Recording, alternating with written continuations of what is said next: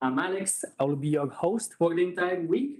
But today, mainly warming everyone up for our main topic on industrial platform economy to spur innovation. We started back in 2015 with Connect University, which is the knowledge sharing flagship initiative of DG Connect and Commission, which aims to update both the EU staff and you, the general public, about the latest digital trends as well as important digital policies. The scope of our session in general is to put at the same table EU institutions, industry, academia, and international organizations, helping us find inspiration from each other, identify current opportunities and threats to digital policymaking. For those of you who are not yet connected via Slido, we invite you to please do so using the code platforms. I say this because over there you can ask questions and we will make sure they make their way towards the speakers. Also, we encourage everyone uh, to use the hashtag Connect University and digital infrastructures when sharing any insights that you might get on social media. In terms of recording, they will be all available as of next week, and you can check both the Digital EU channel on YouTube and the Connect University page on Futurium. We invite everyone on Futurium. It's the place where we have discussions on re relevant digital topics. We have sub areas for each, and it's the place where we also get inspiration for uh, future uh, topics, if I can say it like that. Um, so we must run alongside with it, making sure we have access to the most up-to-date information to reach our destination in good shape. So in terms of future destinations of our school, we still have tomorrow, in the last day, the session on mobile generations from 1G to 5G and beyond. And lastly, we will end the week with the closing session, EU digital infrastructure in a global ecosystem. The aim of that is to give more of a holistic view of the entire week to get uh, the best insights from each of the smaller session and also give the Commission's plans and concerns for the future in terms of greening digital infrastructures. As for our session of today on industrial platforms, you know, to give a more comprehensive context, as well as shed some light on the topic for uh, non-experts such as I, as well as for those of you which are more fluent on the matter, we have with us today Max Lemke, Head of Unit Internet of Things, Johanna Tsanidaki, Chief Innovation Officer at Vertigo, Antoine Mathieu, Manager Energy Services Platform Elia, and last but not least, Francesca Flamini, Innovation and Funding Manager at TT Tech. So without further ado, please, Max, the floor is yours. Yeah, thank you. Thank you very much, Alex, for introducing me. I can still not see me. Can you see me? I'm not sure whether the, the colleagues are seeing me. I think they still see you. Yes, yes, yes. So, yeah, welcome, welcome to this Connect University session. And in particular, a very warm welcome to, to the colleagues from ex the external colleagues who are here to give you some of the examples from, from, from the different sectors. And I think that's extremely Im important. So I will just try to give a bit of an introduction. As Alexa said, I'm the head of unit for Internet of Things, but I'm also responsible for three areas in Connect, and that is mobility, agriculture, and energy. And so you will have a very application-oriented session here today on uh, the on, on the issue of platforms. My, maybe to myself, I had the privilege to spend six months in 2020 as a fellow and guest professor at the University of Washington in Seattle. And Seattle, in a way, for me, is the capital of the cloud, but it's also one of the or the home of a lot of industry actors who play a key role in platforms. And, and actually, that has inspired me to become a strong promoter of platforms in our economy to strengthen European industry. So this session is largely on the innovation aspect of digital platforms as I see it. Um, but we will also look a little bit at the regulatory side, but just, just a little bit. We will, we will have examples from automotive, mobility, energy, agriculture, and another topic important is manufacturing, but we couldn't fit all this into one session. So that's basically what what I how I see this session, an innovation session. I'll motivate you a bit. I'll give a legislative framework, a bit the hooks to the to the things we have on the table right now, and I'll give you some examples. So to start, energy is a very hot issue. So energy, you know, at the moment, the big crisis, the energy emergency. So you see, be, besides the crisis, you see that that the energy demand is is growing when you look at what what we have today. You see the current home solar installations at the moment 7 million 10% of european homes they will go up to 40 million and 50% of european homes by 2050 is expected and we need an extra grid capacity of a factor of 4 here to be able to cope with that EV, electric vehicle charging, is another one. We have by 2030, we expect expect 60 million more electric vehicles. That's an enormous demand on energy. And EV charging at home will be done for 88% of them. So 29 million home chargers in Europe by 2030. So that's an enormous increase. We see extra energy flowing through European homes worth 29 billion euros, just to give you some numbers. And we expect that there can be energy bill savings per family of more than 3,000 euro a year if it's done in a smart way.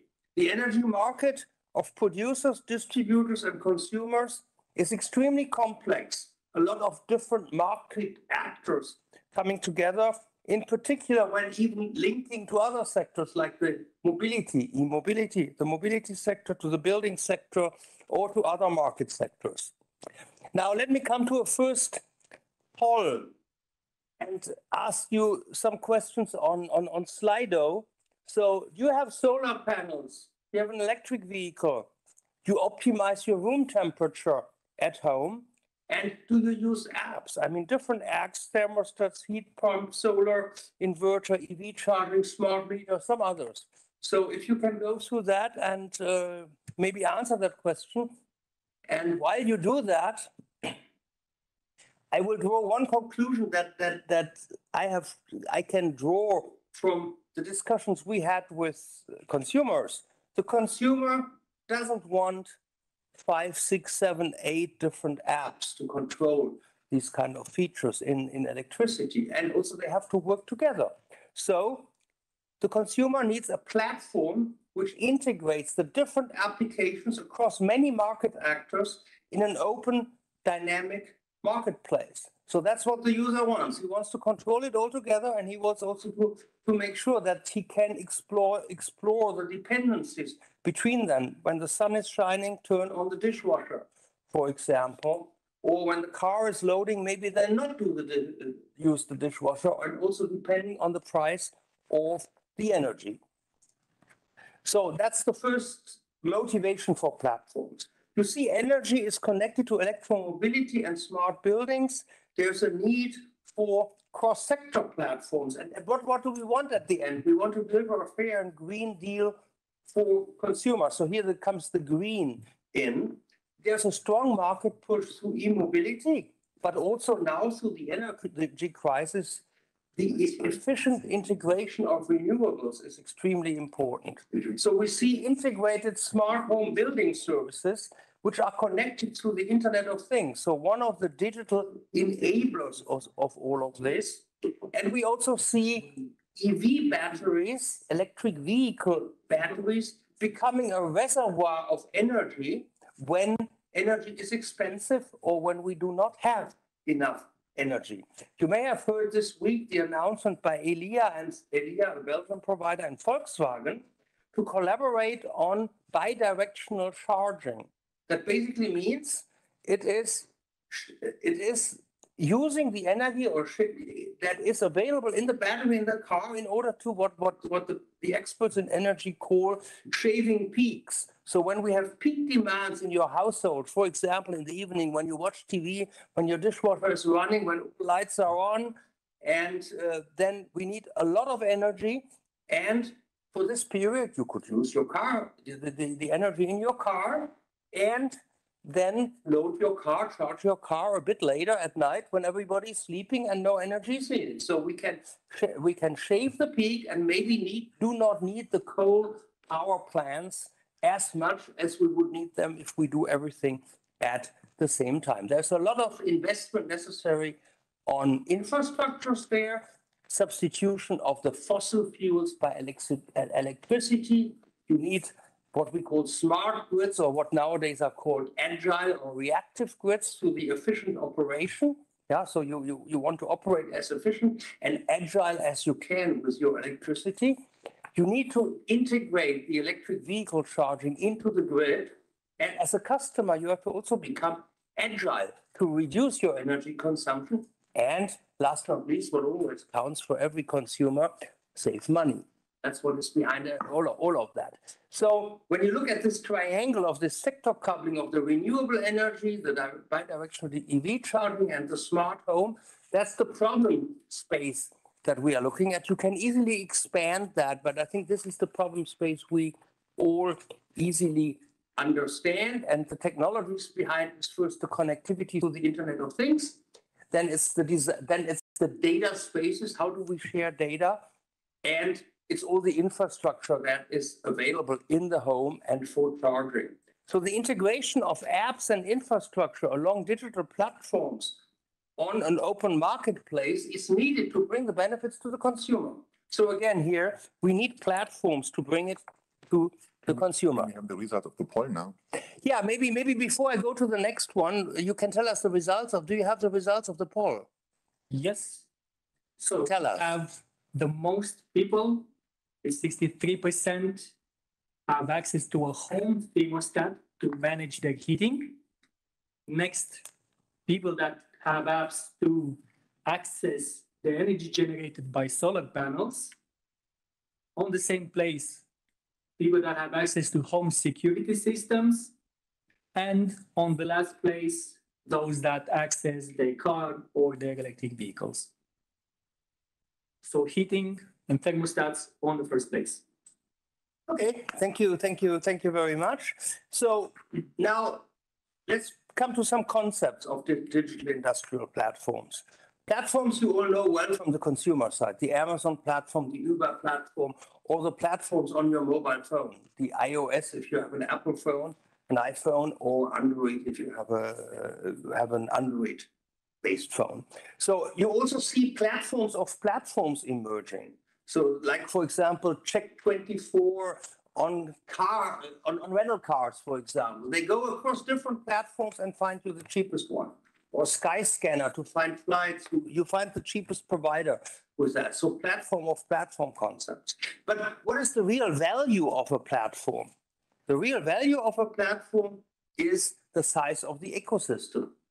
And there's a good example, Amazon as, as a retailer is probably one of the most successful ones because they share this huge ecosystem of vendors and users, not only selling themselves, but also being a broker for selling. And that's also where some of the problems coming, which I come to later. So there are different levels of openness. Interfaces are open. That's usually the case for Android or iOS. You have application programming interfaces, that is open. Some platforms are open source, some have marketplaces that are controlled. They are, for example, controlled by hyperscalers or gatekeepers. Gatekeeper, just to, to explain the term, a gatekeeper is someone who has the power to decide who gets particular resources or opportunities and who does not. Like, for example, if a retailer wants to favor his own products, he could do that because he owns the platform, he's the gatekeeper. Even he may have open APIs, he still gives preference to his own products. Could happen. Just as an example, what a gatekeeper could be. So some of these marketplaces are controlled and gives them a chance to gain a dominant role or block access to others. When you look at the political case of, of uh, China and the US and uh, Android, yeah, Google and Huawei, you, you, you, you, may, you may know that Google closed access to Android for Huawei, and that's why Huawei now needs their own platform and ecosystem, which they call Harmony, because it's not as open as it should be any, any anymore. Now, when you look at these platforms, and we now go to industry, you see now that industry often benefits from very open multi-vendor platforms, which create a fair and equal level playing field. And an example is AUTOSAR. AUTOSAR is a, is a standard or a platform where all manufacturers of cars around the world work together and the tier ones, the suppliers, work together on standards on how data is exchanged in the car, for example, how you deal with mixed criticalities. That means when the braking system needs resources, you give it to the braking system rather than using it for entertainment because you don't want the excuse that you had an accident and the bus was busy because it was downloading some something from the entertainment sector. So that is the role that that, that was agreed with in this AUTOSAR platform and allows now many OEMs to, to use the same supplier and suppliers using selling to many OEMs. So it's a very open place. When you look at others like like the, the, the, the ecosystem of Tesla, Tesla is creating a well-controlled marketplace for the electric vehicle and all kinds of services around. But it's not as open. It's very well controlled, charging infrastructures, home battery, and solar. So that is just to give you some examples. And when you see the, the importance of industrial platforms, you see, for example, when you look at Android wanting being an entertainment kind platform, but moving into the platforms of the car, the industrial platform of the car through Android Auto. Or Apple is doing is doing the same with, with, with CarPlay. So, so they are expanding their space, and we have to make sure that in future we make sure that we have open platforms and that we do not get gatekeepers who control in a way that we we don't want the market to be to be controlled. So we want to have it fair and open. Next slide is just giving you an example of interoperability, which is key for platforms. They are the glue between the players in the ecosystem. So it's, it's the platforms carry for standardization, for, for, for application programming interfaces, for aggregating information, for sharing data, for having developing a partnership model between all the actors around the marketplace, including business models, by the way, and revenue models that belong to it. So there's the business side as well. And last not least, the app. And when you look at the energy case we, we have, these kind of emerging platforms give a lot of opportunities for new market entrants from all kinds of sectors, such as the one who operate the charging points or retail companies like IKEA or Amazon who, who do that and do who do more like mobility services providers like Uber or BlaBlaCar, housing companies, railway. So it's a whole ecosystem that is uh, that that is coming up.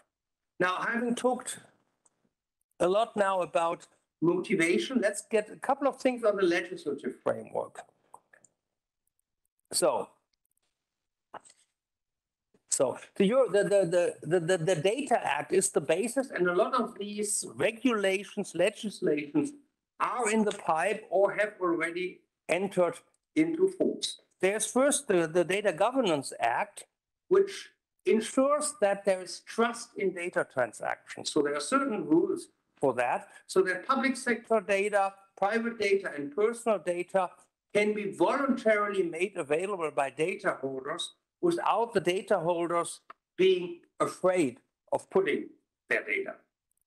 there's a Digital Market Act which regulates the market power based on data. I come back to that in a second. The Data Act that ensures fairness in the allocation of data value, the value of data among the actors of the data economy. And I come back to that in a second as well. And there's also the Artificial Intelligence Act, which guarantees the safety and the fundamental rights of people and businesses when using artificial intelligence. And then also last not least, the Digital Services Act that sets common rules on intermediaries with obligations and accountability. So that gives you an overview. And, and I think if you want to know more, you have to dig into more detail. I don't think we, we can do the data legislation in three minutes in such a presentation. So if I come to an example, the Digital Markets Act, that goes back to this example I have given about a retailer. It makes sure that there is a fair and contest, there are fair and contestable digital markets. So there, there are mechanisms to identify gatekeepers, including emerging ones, and to take actions to put obligation at them. So, for example, a retailer doesn't favor his own product if he's at the same time also the marketplace, but gives fair access to all the ones who provide such products. And if this doesn't happen, there are comprehensive remedies foreseen, including for systematic non-compliance that we observe and EU enforcement. So you see this example of a couple of weeks ago on a 4.1 billion euro fine for Google, who imposed unlawful restrictions on manufacturers of Android mobile devices and mobile network operators in order to consolidate the dominant position of its search engine. So there was a huge fine. And with that, we are imposing that Google can no longer impose its will on the phone makers. And now they may open their devices, have to open their devices to competition in search and other services. And that is important to allow consumers to benefit and have more offers on the market and choose the best and also the one that properly offers the best price. Now, the Data Act is as well going in, in, in is going in another direction. It's it's more or less on the right of data sharing, so that third parties, for example, can use the data that they need to offer certain services. Very simple example is your garage for services of your car, who wants access to the data in your vehicle and the Data Act sets out the basic rules with which this is made possible and with which the OEM, the manufacturer of the car, cannot restrict that data, but, but must make certain data available as to get these uh, bigger sharing of data. And there we look in particular at tackling contractual unfairness, making business data available for, as a common good, or also switching between, between cloud service providers uh, avoiding vendor lock-in. Now, when you look at that politically, and when you look at all these kind of actions coming together, we I just draw you a picture with the common open digital platforms and ecosystem in the center, and all the kind of policies that are contributing to these platforms. That is the CHIPS Act, where the next generation of chips are designed and manufactured, low energy semiconductors on the left-hand side. On the right-hand side, you see all the aspects of the data strategy. That means investment in data spaces, mobility, energy, agriculture, but also the data legislation that I talked about. The new industrial strategy, which, which calls for open, dynamic ecosystems for EU technology businesses. And last not least, the next generation IoT platforms that allow new digital enablers like decentralized intelligence, cognitive computing to come in and to be used. And for that, you need platforms that support standardization, interoperability, sector integration vertically and horizontally, but also make sure we don't get into conflict with competition law and uh, in particular in the current geopolitical situation where this, this becomes more and more important. Now, just a couple of examples. Yeah, just a couple of examples in the agricultural space. the common European agricultural data space, which we are supporting through our digital pro- program, the deployment of that data space, there are different beneficiaries, and I think that's a very usual, uh, usual fact in platforms. There are different types of beneficiaries. Sometimes people call it multi, multi-sided marketplaces. So the benefit for the farmer is to improve performance with enhanced decision support systems. There's a private sector benefiting by making tools available and exploiting the data in their tools. And the public sector gets new data to do sector analysis, to, to, to analyze the certain green aspects of the agricultural sector, for example. And when you look at platforms that exist in the agricultural sector, there are many of them on different levels available. There's, for example, the farm, farm management systems by some of the uh, machinery providers that, that provide that, or by some of the pesticide uh, and fertilizer provider, seed provider, who have their own tools. You see the B2B ecosystem platforms, which where, where we see a collaboration between several vendors enabling data sharing. So several of them made together work together on these platforms. We also see national and regional data hubs, data spaces resulting from partnerships, building an ecosystem, for example, in a region or in a member state. And you also see the high value data set examples of, like, for example, geospatial spatial data, soil and environmental data that you can make available to the farmer. And all this has to be, we try to make accessible to what we call the European agricultural data space as kind of a very, very open platform for that. Similar in mobility, you, you see many beneficiaries of mobility platforms and many be- benefits. And I think you can, you, you have all experience with some of this, so easier to find the most suitable travel option. You go on the web, you find your way. Do you take the train? Do you take the, the plane? What is better? Maybe you also look at the energy footprint or at the CO2 footprint. Monitoring, planning, management of traffic for your public authorities. When you go in the morning to your office, you want that, you want to get information. What means of, of transport do I use best? Safer mobility, a red light telling you where the problem is. Is there an accident telling you about dangers? More innovation on AI, more mobility services like on the scooters that you rent on the street or others, improved operation of your vehicle to extend the time between service intervals and also sector coupling related to e-mobility with the energy sector. I will not go into this, but I just want to show you the difficult picture, the very complex picture on how we are trying to build this data space, how it works with other sectoral data spaces on the right-hand side, and how we have to bring national aspects, the different mobility data spaces in Germany, in the Netherlands, and Finland in, how we bring the national access points for mobility data in, and how we try to develop some framework for that facilitates, that simplifies data sharing in the mobility sector, and that also allows to become a kind of a marketplace for data where you can even sell and buy certain data. Last but not least, I want to give one example. That's pretty much in my heart. That's that's when you look at the automotive ecosystem. In the past, that was a very simple thing. You had the manufacturer of a car, you had the suppliers of automotive equipment, and last but not least, you had technical suppliers, which we call tier one and tier two. Now everybody works with everybody, with a lot of new actors coming in, and with with the market. Yeah, sorry. and with the market moving to electric cars, autonomous cars, in a servitized world, electric, autonomous, servitized, and connected, in a connected world. So the, the market is disrupted.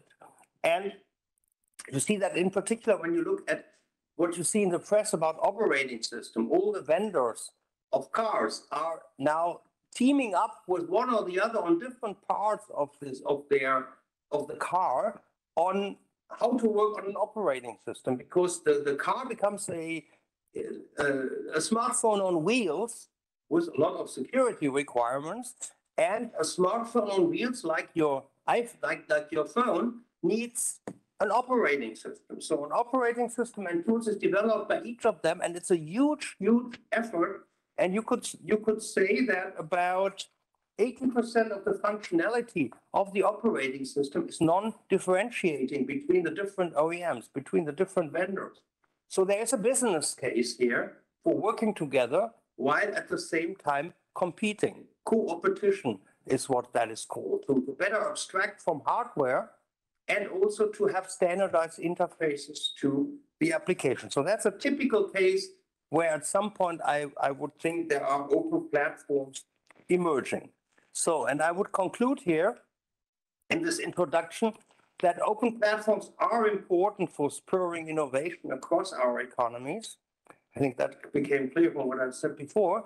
Platforms are crucial for mastering complexity and focusing the work of individual companies like SMEs on what they are strong at and what are their roles. So they don't have to worry about everything around. That's offered by the platform. And that makes them allows them to make money in the platform economy. It's important that European industry becomes much, much stronger a driver of those open platforms of tomorrow. These platforms, many of them will be global. So I'm not saying we need European or German or whatever located platforms. We need global platforms, but European industry must more and more drive these platforms, being drivers in those platforms. And also, when you look at the current geopolitical situation of a lot of tensions between world regions, platforms play a key role in this power struggle across the world. And the ones who own or who dominate the platforms have more power than the ones who have to just use these platforms. So that's an introduction, and I'm very keen now on hearing the different views in the different sectors that we have here today. And for that, I would like to hand over to Rolf Riemenschneider, who will be moderating the, the session today. And I will step out of it so you do not always also see me on the screen because we're in a kind of a slightly strange setup. Here. I move over there. Rolf. Yes, thank you. Many thanks, Max. Uh, good afternoon, uh, colleagues. Good afternoon, uh, my panelists. Uh, before moving on, are there burning questions from the audience? So maybe a question to Alex. Yes, there are quite a few, but the question is if we can take them now. Maybe take one, two, which are most. Yeah, okay. So there are some general ones and some very specific ones. Um, maybe let's take a general one first. Uh, there was a mention on the value of platforms and DG Connect plans of plans on enforcing regulation on those platforms? The question is, how confident are we on the actual value of those platforms to actually know how to run enforcement? Um, I think uh, maybe you have to distinguish between uh, regulations on platforms um, which are have a strong market role or dominant market role, what we call gatekeepers, uh, and there, you know, um, there are regulations coming up in order to, to limit that power, to open the market again, which is a distortion in the market.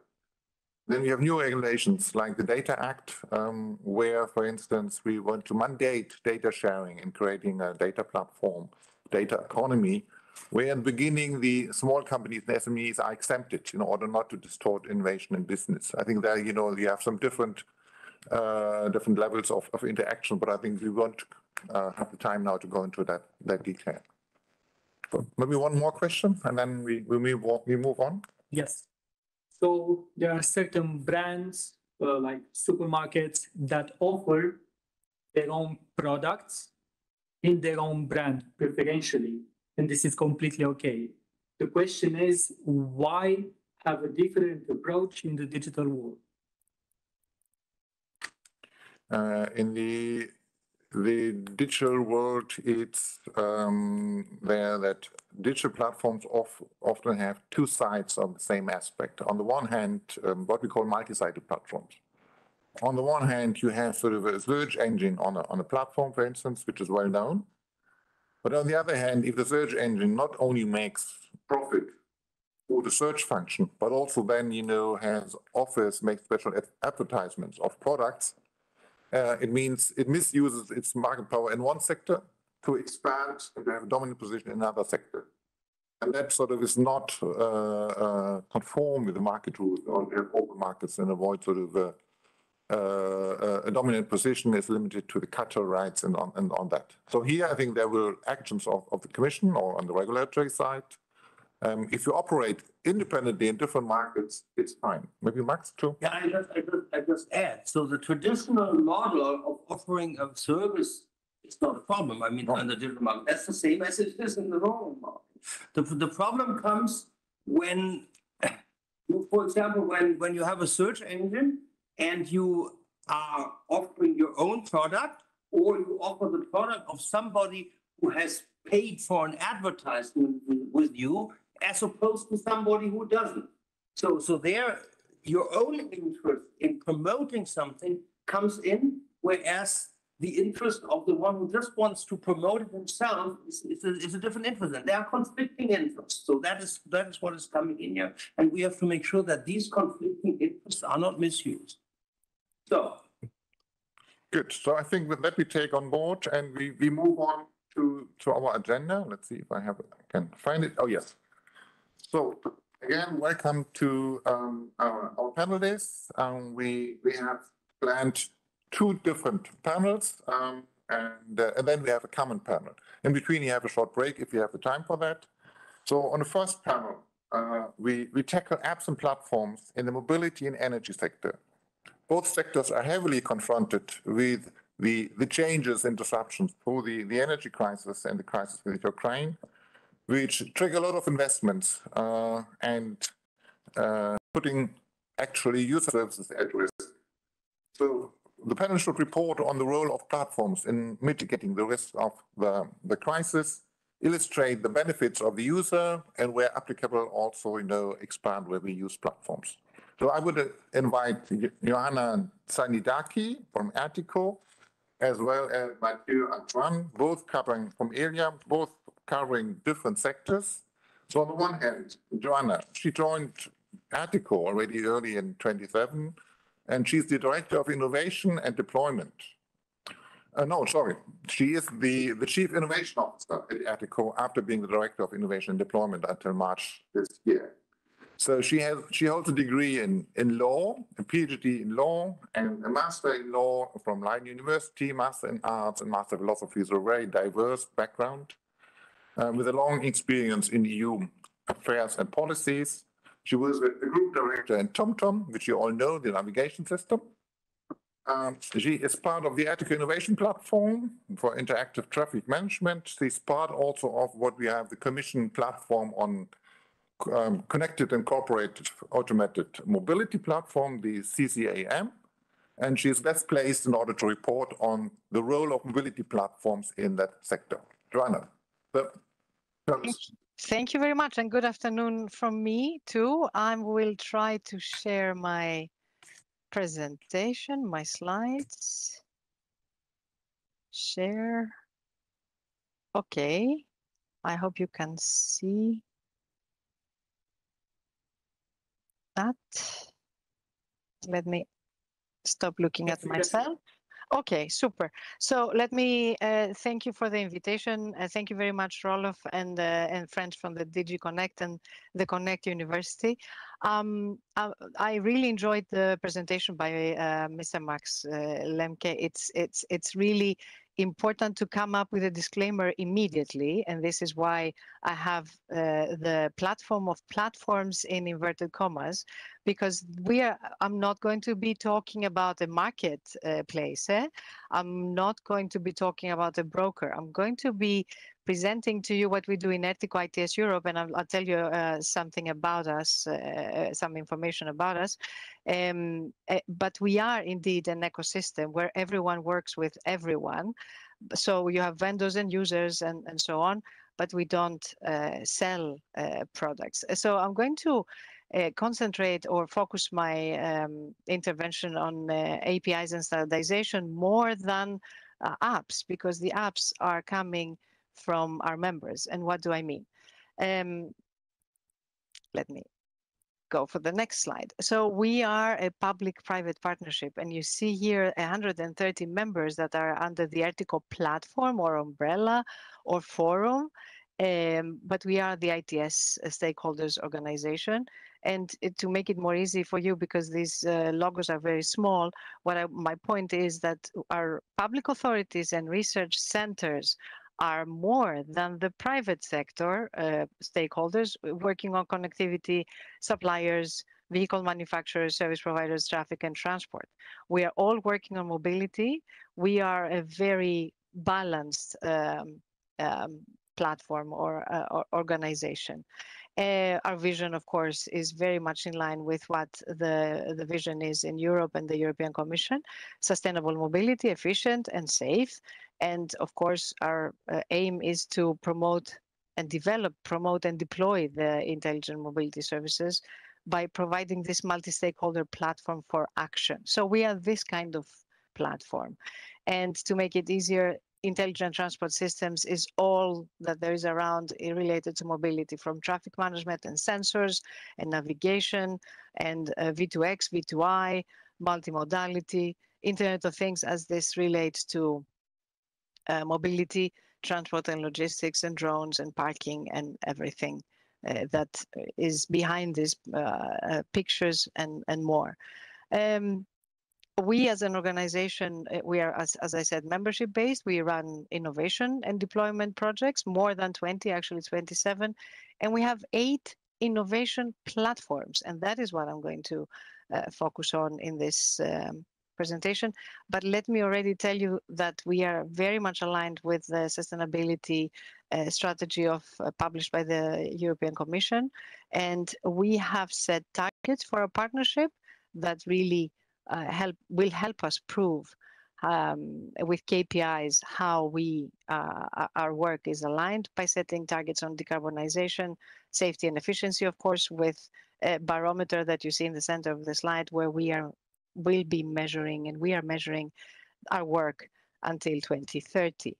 Um, we are working on four focus areas and I wanted to show this to you uh, uh, more and more these areas are blurring in mobility. Eh? Clean and eco mobility roadmaps, a roadmap, and, and transport and logistics and urban mobility and, and CCAM are areas that we have a roadmap for each.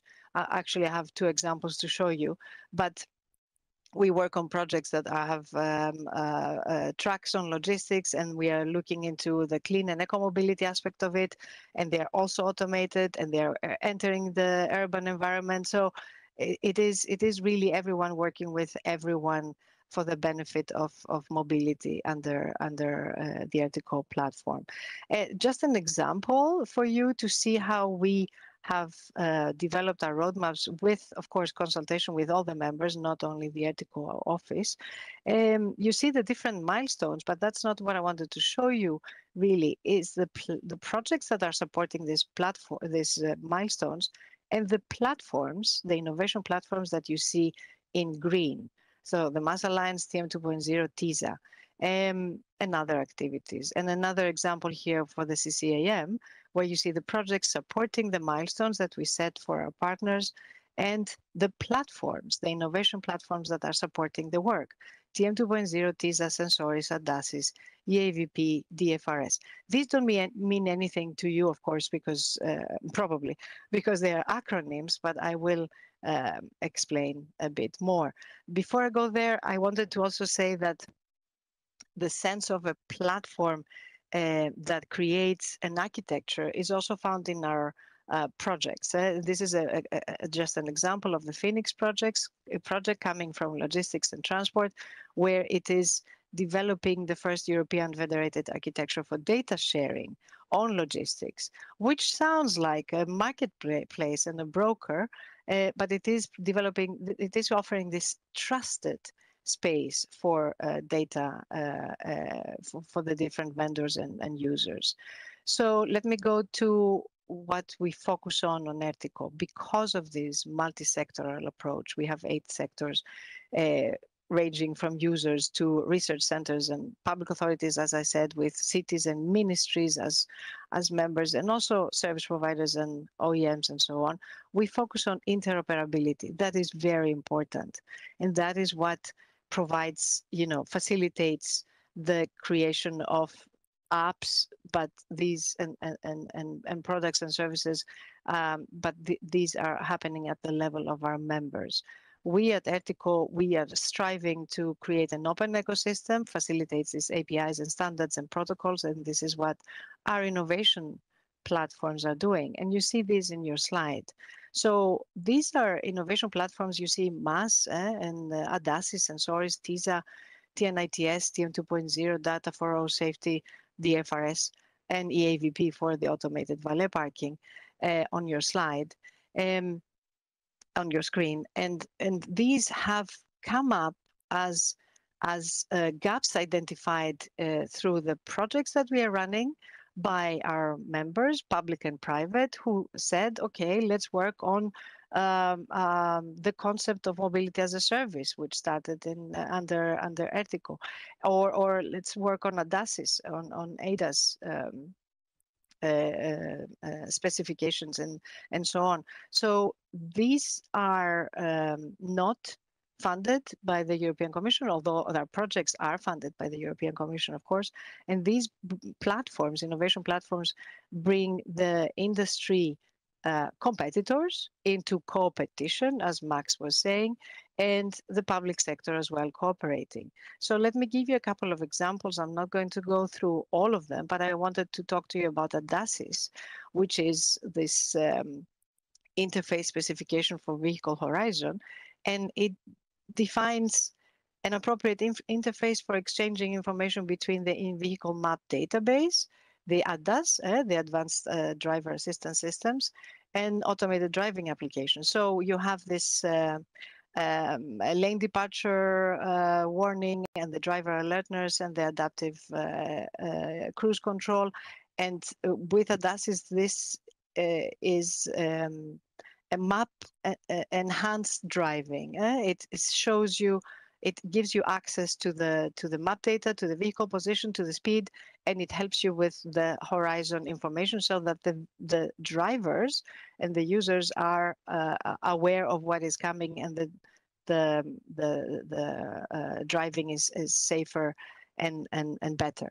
Uh, so the members of this platform, of course, are uh, vehicle OEMs, um, ADAS manufacturers, and the industry, and they came with this de facto industry standard. The, the latest uh, version was released in uh, December 21, and that is the it, it also helps with the predictive powertrain control, which uh, uh, uh, uh, contributes to the sustainability targets that we have in our work.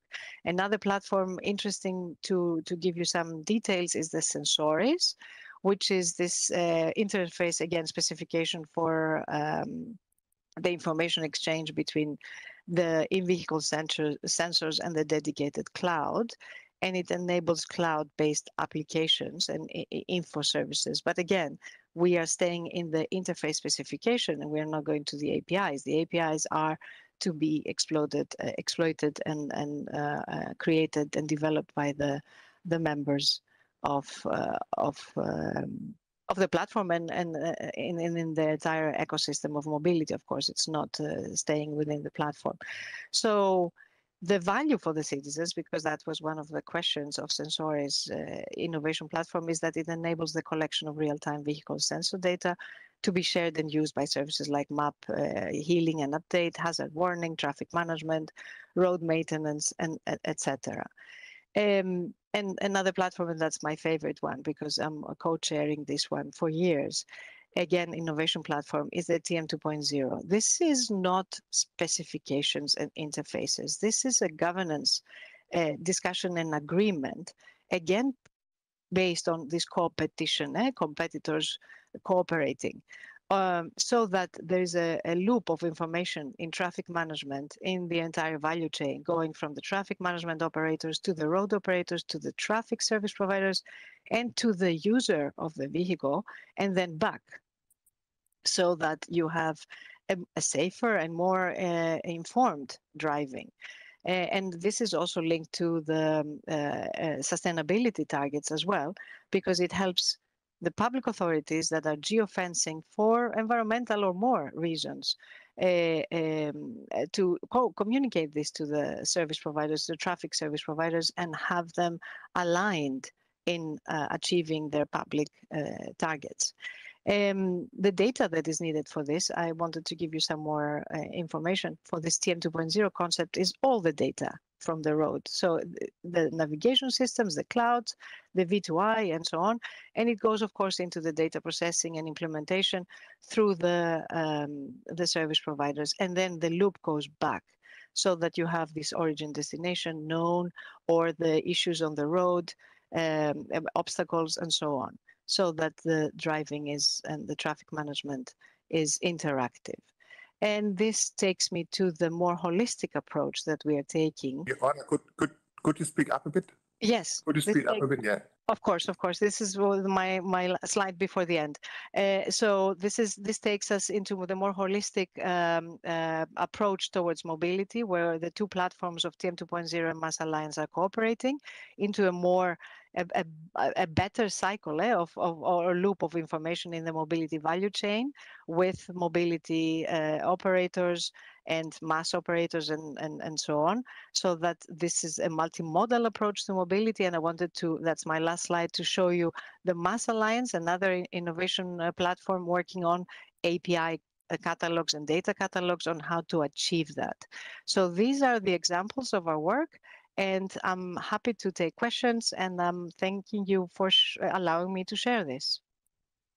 And apologies for taking longer than no problem. Plan. Thank you so much. It was very, very um, inspiring. I think before taking questions, I think we take it in the package. I will invite, invite Antoine Mathieu from Elia, uh, the Belgian provider. So uh, Elia is working uh, is a strategy developer uh, for platformization and consumer centric applications. So um, it works um, on um, specific platforms to foster the emergence of new energy services uh, and it's part of the Elia consumer-centric vision uh, called also IO Energy. And we would be happy to, to hear about you. What is the, the platform approach from Elia? So, Antoine, um, the floor is yours. Yes, good afternoon. Uh, thank you, Rolf, um, and thank you, Max, for having uh, um, in this panel. Um, before we start, I'm just going to shortly introduce the Elia Group. Uh, Group is a transmission system operator uh, group uh, we have a transmission system operator in Belgium and one in uh, Germany. We're mostly known for our um, overhead lines, electrical overhead lines that you see along the highways, the cables also that uh, are running be, below our feet. Uh, we're at, at, the highest level of energy, but what we actually mainly do is put at disposal this physical infrastructure to others to um, uh, have the economy functioning uh, and, and deliver that um, energy towards every household. So that's a bit what Elia Group is doing, mutualizing these physical resources. That's what we do. We also tend to um, um, uh, understand that we can have another role, and we can also um, use other digital, uh, other resources, but then digital resources, um, uh, mutualizing those to get uh, the uh, economy uh, a step further. And that's what I would like to um, expose today, is how can we, um, in, in order to reach also the energy transition in which we are today, how to reach that, um, uh, but then on a reliable and affordable way, uh, but how to reach that with uh, um, um, better and improved data exchange. Maybe I'll just go to my next slide. Yes.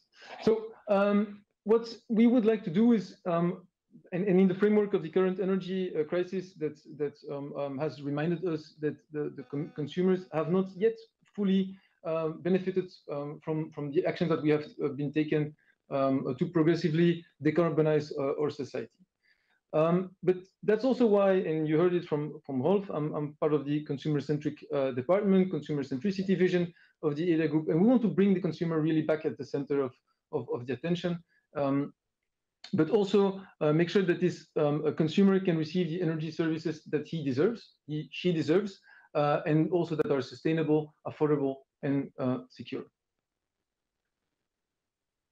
We see also that this, this energy transition does not come from nowhere. So it's really connected to, uh, and, and how Elia Group has seen this, to reducing uh, or, or, carbon footprint, uh, reducing um, um, Europe's emissions by 50, 55% in 2030 um, as in the Fit for 55 ambitions, but also reducing our dependency on um, uh, foreign uh, fossil fuels, especially uh, fossil fuel coming from Russia, uh, as we all know, uh, and which is the ambition of the Repower uh, EU um, plan. So to realize this energy transition and have this dependency and um, reducing our carbon emissions, we need to um, not only install more renewables and continue electrifying, but we also need to make sure that we have the right flexibility to cope with that uh, new um, uh, uh, energy mix that, that we're facing in the future. And what have we how uh, have we coped with um, that in the past? Well, basically, we have coped with that uh, by having big dispatchable fossil fuel plants um, installed, uh, but we will not be able to do that in the future.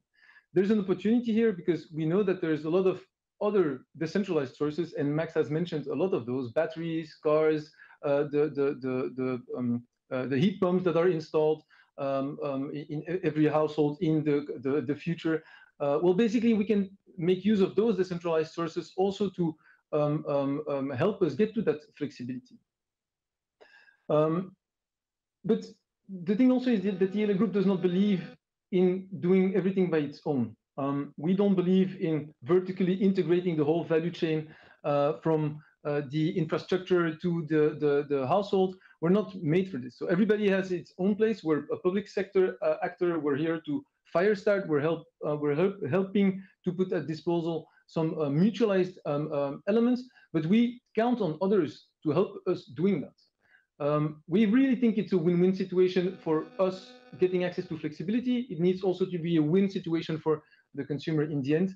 And to make that win situation for the consumer in the end, energy service providers need to come up and, and, and, and invent those services for the, the, the end consumers. Elia is not going to do that. Uh, we are not in everyone's household. We're not in everyone's uh, electrical car. We really believe in fostering that innovation, um, believing that uh, others need to start uh, investing. But we received some feedback from those um, um, uh, uh, energy service providers in the past months. And we're really in a, and that's why the Internet of Energy initiative has been started. It's really to start that discussion again, that ecosystem around us, not only about technical providers, but really all the different sectors around us. We, are talking to social housing um, um, uh, organizations, we're talking to the building sector, we're talking to the automotive. Uh, Max mentioned the uh, uh, MOU we have signed with Elli recently. So we're really looking at that whole ecosystem um, um, to, to, to be able to build those energy ser system, uh, services of the future. Um, these providers of these energy uh, services, they basically what we've seen is that they need a couple of elements, and two of them are really the pillars that are behind the um, um, uh, um, consumer centricity vision, and those are two of the elements that you see here on, on the slide. So data access is one. energy service providers really face some uh, difficulty to um, access um, um, consumer data in the energy sector. And the other element is how can we make sure that we can also have energy transactions happening between the different parties of the energy sector. The third element uh, that you see here is that we also want to um, uh, make sure that um, uh, we decarbonize and so that people are really uh, consuming green energy when that green energy is made available the goal of today is really to focus on that data access. Um, um, the, the, the, and, and, so I will continue in, in my presentation on, on have, allowing that data access and how we want to do that. Uh, Traxes that you see in the middle is the developer platform on which these energy service providers will be able to find those different building blocks that they will use in their own uh, product stacking and that we put in at disposal um, and we mutualize those digital resources for the energy service providers. But how did it? How is it actually happening currently, and how do we see uh, the, the issues of today uh, in, in the um, uh, data portability or um, uh, the data exchange uh, in the energy sector? Well, basically, we see a lot of lock-in, um, um, um, lock-in, which is technologically, but also economically, there is some uh, stakes. So we really believe that that avoiding that lock-in uh, and making sure that the owner of the data, so the driver, uh, the the the one who's living in his house, heating his house with his heat pump, can really own the data and can actually share that data with the service provider of his choice. We really want to push this forward, and that's why we Um, uh, have the vision to, at least in a uh, first phase, help that um, uh, economy to fire start, that data economy to fire start here, and um, increase competition of services, not only at the head meter, but also behind the meter. So we really are looking for sharing, for example, electrical vehicle data to an electrical vehicle service provider, if that service provider received the permission of the data owner to not only hold, but also process um, uh, his, her data. Different elements are required for that. So, uh, on the left, you see the data providers, and uh, on the right, you see the data consumers, so the service providers. In the middle, these regulated tools and um, will be are elements of the platform that we're building, the developer portal that we're building. Basically, we need to um, have asset registries. We need to know which assets we're talking about, and which data on these assets we are talking about or sharing. We need to make sure that uh, permissions are safeguarded and that um, permissions are shared among the uh, uh, people that um, are on that platform to the ecosystem. And the last point is the communication platform. We need to make sure that that um, data is actually flowing not on a 15-minute exposed data, but even closer to real time. Because we know that the energy sector is going to react just really quick, and so basically, we want to increase that um, um, um, reaction also by providing data at the right moment. This brings me to uh, my uh, uh, last slide here. Basically, what we really... And to wrap up, basically, what we really want to do is provide access to real-time data to energy as a service providers, and so these service providers. We want to develop this level playing fields for these providers. We want to increase trust uh, for the the consumers, eh, so that they uh, not only uh, see that there is an economy building up here, but that there is also some standards, that are people that play referee at one point, so that they can enter this market safely, securely. They have this this confidence in the market. Um, we also want to reduce the um, barriers to entry. Um, we know that getting access to the data today, the price that some of the uh, data providers are putting on the market avoid service providers to build uh, innovative um, services. So we want to lower those barriers. And uh, lastly, also, we want to avoid lock-in. We want to foster this um, um, energy data market by connecting data providers to service providers. We've seen that some of the service providers don't even know where to get the data they need. So these are, Um, uh, in a nutshell, uh, elements that uh, we we are working on. And to end this presentation, we are really open to collaborate. So um, um, I've mentioned the automotive, I've mentioned the building sector, but there's many more sectors, banking, telecom, that we're working with, so that we can go for a decarbonized and affordable energy transition within within Belgium, Germany, but also across Europe. Thank you very much. Uh, fully agree, they're exciting times. Um, just to quickly wrap up, um, yes, you both mentioned, particularly mobility side, you know, there's a pool of information out in order to improve mobility services and go to the next level. Um, the question for you is, you know, how to steer innovation, mainly through enabling, like, you know, opening opening up interoperability APIs. We have also seen in the energy sector, you know, there are low-hanging fruits, you know, connecting mobility to energy. And again, to make it happen, you create a sort of a platform, uh, um, doing the APIs and the open interfaces, uh, opening up the data sharing, enabling it.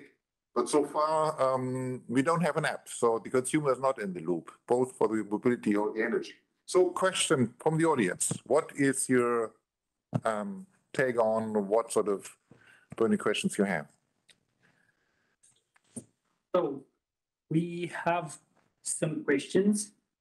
Um, one was regarding partners. There was a cycle mentioned. The question being, how often do you look at that cycle to refresh it, and which from the PPP uh, partnership, which uh, of the partners is more active, and is there any reason behind that? There was a question for Johanna? Yes.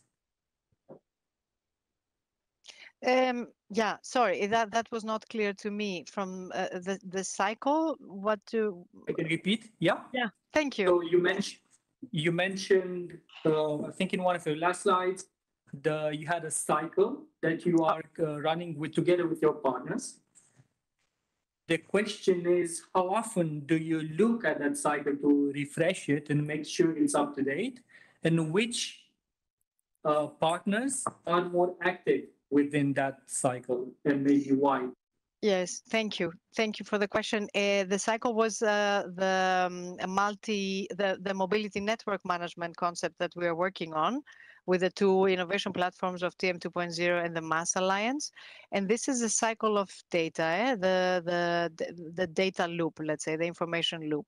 Uh, and, and this is supposed to be real, real time uh, data and traffic information and multimodal information. So it, it's supposed to be um, yeah refreshed as as fast as possible. There's no specifications yet because, as I said, it's a it's a work on governance and how to to make this work architecture wise. But we haven't reached the point where we are standardizing or uh, having the specifications agreed on interfaces and so on if that i hope that answers the question and the partners Yes. because sorry to to because i the there was a second uh, part of the question. So the partners are the in in the the last cycle which was the mobility network. It was all the mobility service providers the traffic management uh, the different modes uh, all the stakeholders involved. In the T in the TM 2.0 the traffic management the road based only it was the um, the traffic uh, uh, centers, the service providers, and the road operators. These were the partners and the user, of course. Eh? Mhm. Understood. And maybe a question for both, actually, uh, because we did mention competition, or at least a competition, healthy competition environment. The question is, do you have any insights in the value of consumer data to know how best we can foster a good competition environment?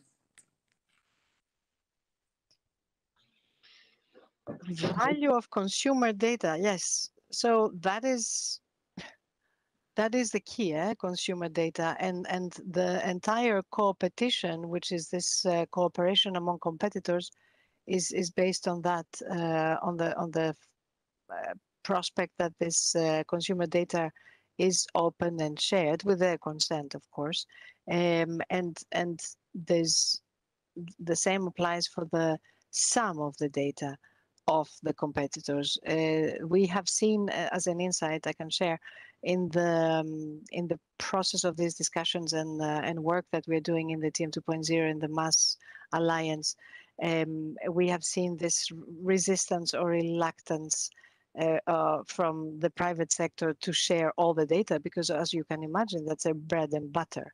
So that is uh, part of the discussion on the business models and how this can work best. I can, I can only Yes. um, maybe I can contribute a bit on that as well. Uh, it's, it's indeed uh, as, as uh, Johanna said, uh, the billion dollar uh, question. Huh? So um, what's the value of data, uh, of consumer data?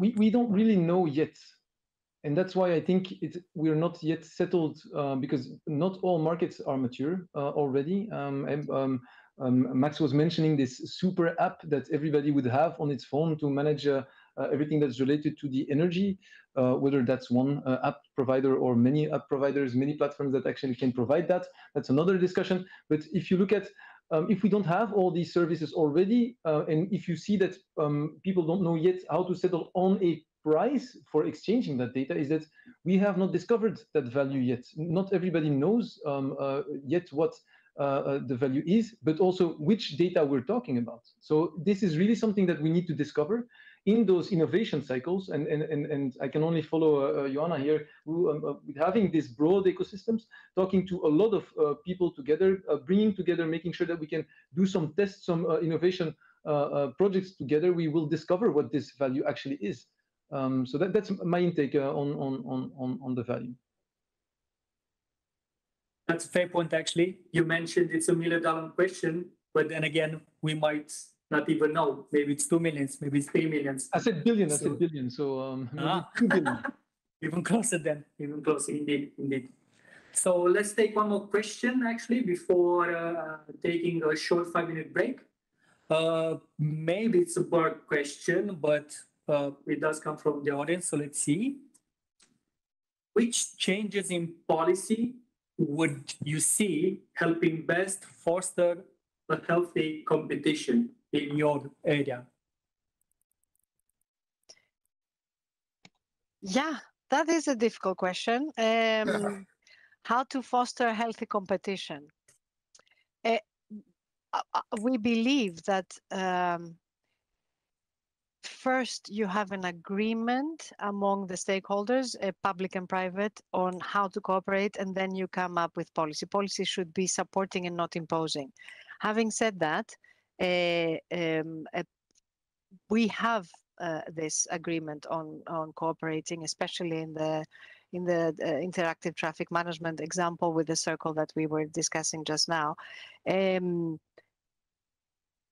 fostering this competition means that you and that the policy enables um, uh, no doesn't doesn't punish the um, the the ones the, the stakeholders that open up their data but makes life difficult if i can use that word for those who do not want to cooperate and what do I mean? In, as an example, in this uh, traffic management, interactive traffic management, when you have all the service providers that are competing with each other, like uh, TomTom and Here and uh, Be Mobile and what have you, uh, agreeing to share data with the public authorities and traffic management centers, and then you have others that do not enter this competition, this uh, this agreement, then it's not a level playing field, and it's unfair to those who agreed to cooperate. So on the one hand, you need incentives for the partners that are cooperating, and uh, uh, yeah, taking these incentives away or not uh, providing, uh, uh, opening up the public information to those who don't agree to cooperate. That is that is what policy should be doing. Mm -hmm. Antoine, maybe yes, a short question, a short answer. Yeah, short answer. I think I think what, what the policies that have been put up for the moment go in the right direction. I think we need to continue working on those. Um, uh, it's it's I think the the right direction, and uh, indeed by bringing and having these public-private um, uh, agreements on on that, we will reach at one point uh, um, um, and, and be able to move on. Uh, but I think we really go into the, the, right direction. So I don't have a specific point to say, okay, this needs to change or something that's really difficult question. But I think the different policies that have been put up until now go into the right direction. Okay, okay, we are back. Uh, we were able to reset the, the equipment.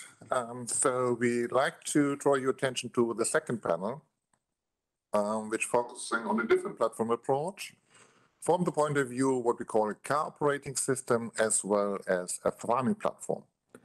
So um, we heard, you know, it's a challenge, you know, to get access to data, to pool data from the mobility in the energy platform. We focus now, you know, how to integrate different stakeholders in order to make something happen really, you know, in the field or um, for uh, a car.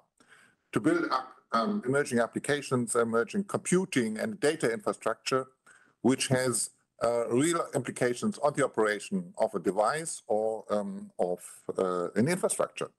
So I'm very happy to welcome two speakers, um, Francesca Flamini from TTTech and Jürgen Vangeyte from ILVO. Um, I see Francesca, Jürgen, are you online? Ah, yes, I can see you as well. So we will start with Francesca.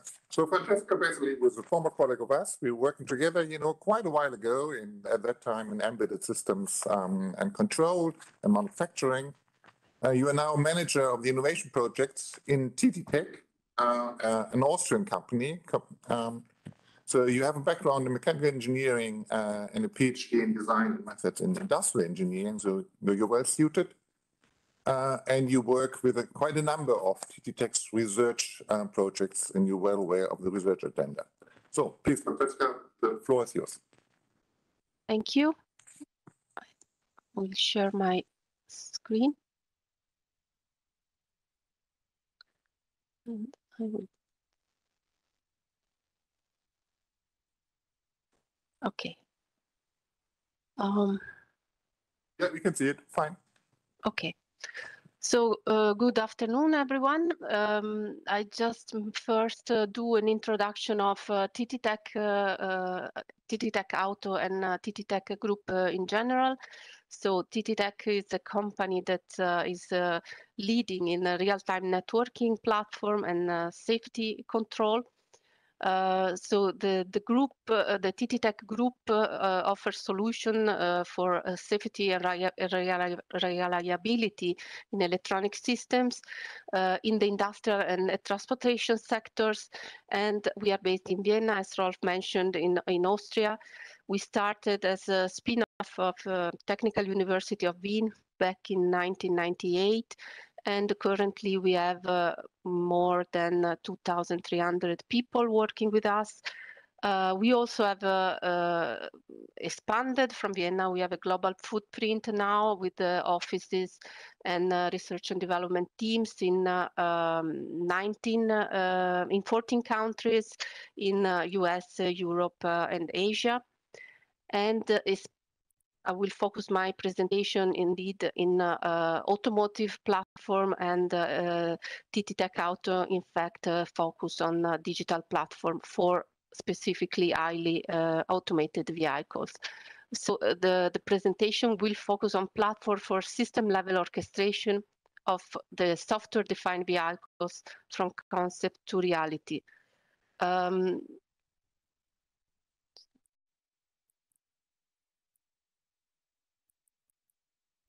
Yeah, so first uh, I will give um, a, a, bit of a um, market concept. Um, uh, just a second, I'm sorry.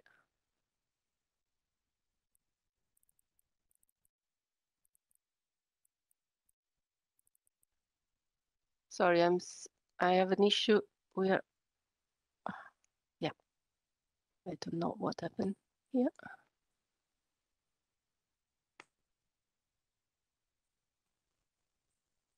Oh. That I also have sometimes, it doesn't move forward. Yeah, exactly. Sorry. Um, so the market concept, concept uh, we see uh, that uh, um, the automotive industry is going, is moving towards um, a centralized uh, uh, vehicle EE uh, architecture with the scope, the final goal of introducing what we called the software-defined vehicles. This is uh, is something that uh, uh, reflect different changes uh, in, in a global uh, perspective of the, how the, the vehicle is used, what are the new roles uh, of and business model for the car makers, but more importantly on what are the expectation of, of the end user. Because we see that the end user, as you also mentioned in, in the previous presentation, is, is influenced by this concept of uh, connectivity, uh, entertainment, uh, device, and platform. And, uh, and so basically we see that uh, there is a more customer and application centric approach that uh, in will is changing and impose very many challenges to the whole automotive supply chain. And this the, the car is uh, is is not uh, the same as an iPhone on wheel. Uh, it's much more complex, and uh, so it need uh, to uh, um, address a specific integration and and realization issue. for example, the the the the, the the safety is is an aspect that in a car is is not negotiable. of course, are the real-time behavior is also expected and is, is essential for many uh, vehicle function and also level four autonomous driving uh, bring the fail operational uh, system requirement that are uh, important uh, and validation verification uh, strategy are also needed to, to be considered for, uh, for this type of, uh, of platform.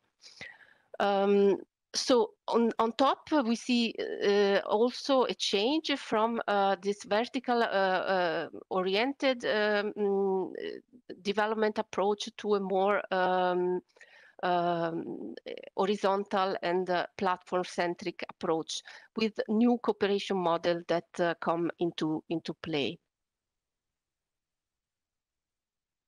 So here is uh, uh indeed uh, this uh, um, in, a trend that we see um, where OEM uh, we are working uh, and moving from a distributed EE architecture that can no longer cope with the complexity um, of the of the software uh, um, of the software that is required in a, in a in a modern car towards domain-based architecture where all the pieces of software that belongs to a specific domain are put together in bigger ECU uh, with multiple COCs uh, that requires bandwidth uh, uh, interconnection uh, and between SOC within the, the, the ECU tomorrow we see that uh, the, the, the, use case of tomorrow uh, are um, going towards higher integration with one or two um, central computing box uh, uh, and zonal controller that uh, have a high number of function um, that by having a, num a, high number of function uh, generate generate a lot of uh, cabling, a lot of uh, separate box that cannot be afforded anymore, and so there is the the trend to combine this function in local controller that can be managed uh, um, uh, can be managed better from the integration point of view, from the load distribution point of view, etc. Um, yeah, uh, so we see here this uh, this change from uh, vertical to horizontal um, approach in the um, in the in the in the supply chain. So uh, uh, the, the OEM uh, are uh, extending from their traditional system uh, spe specification and integration role uh, with developing also in-house software development capabilities. And these, for the cooperation model, are um, are changing, opening also for new roles for uh, emerging also in the in the automotive industry.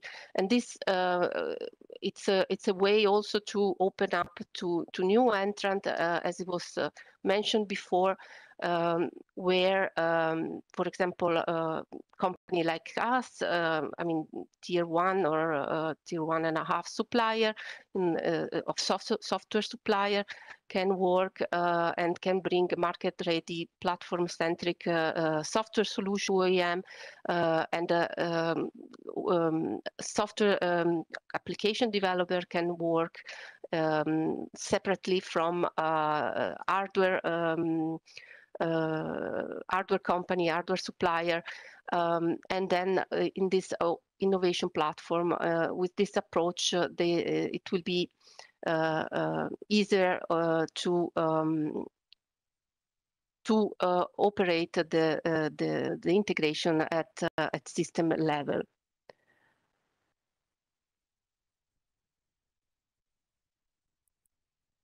Yeah, so from system architecture understanding, what we propose uh, and uh, what we see is uh, this um, uh, uh, enabling this uh, CarOS um, operating, the car operating system that enable the fast, faster innovation cycle for this in-vehicle software application for connectivity, networking, high performance uh, chips, uh, also supporting uh, supported by by a strong cloud infrastructure uh, that enable also new business models, new monetization opportunities for uh, the car makers, while still protecting and um, as you can see on the on the right, uh, maintaining the safety and security and the, the real-time uh, are the real-time performance uh, and upgradable uh, capability uh, of the of the platform. And so this all this aspect uh, can be maintained with this new CarOS approach. and also the cloud services um, are in, in a, an integral part of this platform first, cloud first system architecture, um, or how we see it. And uh, it's also important uh, that this CarOS uh, enable uh, the stronger reuse, uh, a stronger reuse uh, potential of the software and synergies, but also uh, it's ready to implement also new uh, uh, the newest um, demand and specific feature from from OEM. this also the the use of the cloud will enable testing in the cloud uh, validation and verification of software application to uh, allow 100% uh, safety and security to the behavior in the vehicle. And TTTech uh, as a company, we are we have a strong expertise in safety and security, and so we also bring to this CarOS all this uh, this uh, uh, expertise. Um, and last on the market, we we see um, why we see this is important because we see that the value um, the, uh, the, the, the, money goes into the software is increasing, um, especially the share that goes in uh, middleware iOS and also um, autonomous driving uh, application, ADAS and AD application. Uh, and so this translates for us in the relevance of having this platform software, uh, the software platform, because this reduce the, uh, the, the, the, complexity of the integration um, and also uh, what we call the, the, orchestration layer to allow this uh, uh, integration and also execution of the software um, um, easily. So what we propose is the, the Safe Vehicle software platform. And in particular, we have a platform uh, called MotionWise, which uh, we think can master the complexity, the integration complexity in the in the automotive uh, software along two dimensions. So one dimension is this vertical dimension. So um, as we said, uh, it's possible to um, to decoupling uh, the hardware and the software.